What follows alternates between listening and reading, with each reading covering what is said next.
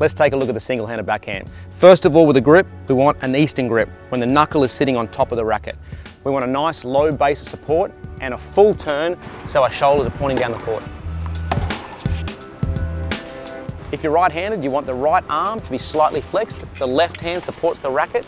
You want the racket head and hand to drop below the level of the ball to create topspin. The hands separate and into impact, our eyes and our head are focused on that ball.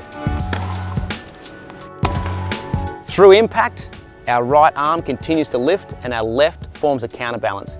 If you get all those pieces together, you have a great backhand.